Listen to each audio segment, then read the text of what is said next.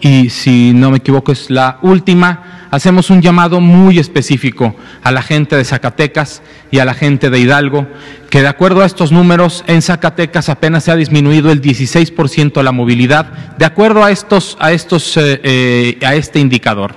¿sí? Y lo mismo al estado de Hidalgo, que en últimas eh, eh, semanas tiene una disminución de tan solo el 29%. Muchas gracias.